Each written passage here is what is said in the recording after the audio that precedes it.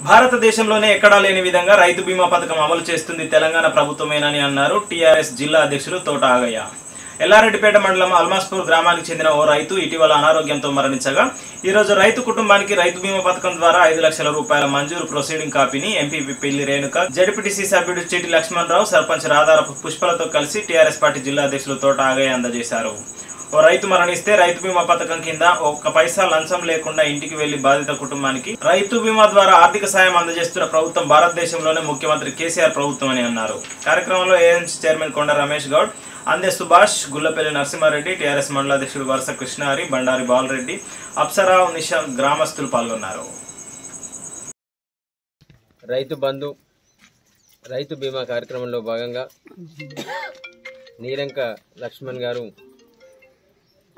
స్వర్గస్థులైనారు. వారి కుటుంబానికి రైతు బీమా కింద రూపాయల ఐదు లక్షల ప్రొసీడింగ్ను ఈరోజు అందజేయడం జరిగింది. ఆల్రెడీ డబ్బులు వచ్చేసి వారి అకౌంట్లో ఐదు లక్షలు డిపాజిట్ అయినాయి.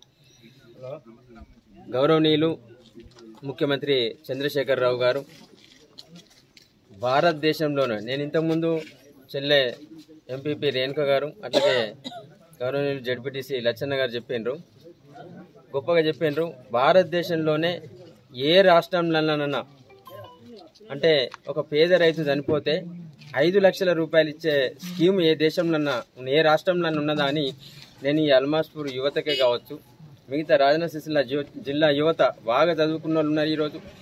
ఇంజనీర్లు ఉన్నారు డాక్టర్లు ఉన్నారు అడ్వకేట్లు చదివి లా చదివి ప్రాక్టీస్ చేసే వాళ్ళు ఉన్నారు. అనేక మంది ఉపాధ్యాయులు ఉన్నారు మేధావులు ఉన్నారు చాలామంది గ్రాడ్యుయేట్స్ ఉన్నారు.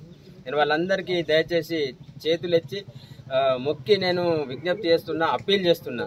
భారతదేశంలోని ఏ రాష్ట్రంలోనైనా ఆయన బీజేపీ పాలించే రాష్ట్రాలల్లో రైతు ఒక రైతు పేద రైతు నిరుపేద రైతు చనిపోతే ఐదు లక్షల రూపాయల చెక్కు ఇలా ఒక్క రూపాయి లంచం లేకుండా వాళ్ళ అకౌంట్లో డిపాజిట్ చేసే రాష్ట్రం ఏ రాష్ట్రం ఈ దేశంలో ఉందా?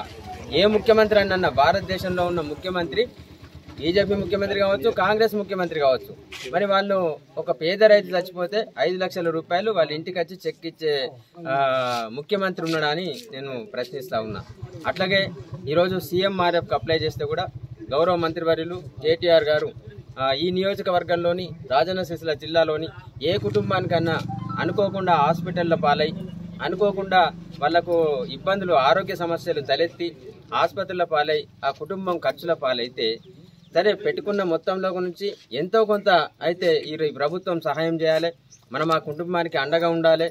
ఆసుపత్రిలో వైద్య సహాయం చేయించడమే కాకుండా వైద్య చికిత్సకు సహకరించడమే కాకుండా ఆ చికిత్సకు అయ్యే ఖర్చులలో కూడా పెద్ద మొత్తం ప్రభుత్వమే భరించి మళ్ళీ తిరిగి సీఎంఆర్ఎఫ్ చెక్కు రూపంలో ఆ గ్రామంలోని ఆ ఇంటికి పోయి ఇచ్చే ప్రభుత్వం ఈ దేశంలో ఎక్కడన్నా ఉందా అని చెప్పేసి నేను ఛాలెంజ్ చేస్తూ ఉన్నా.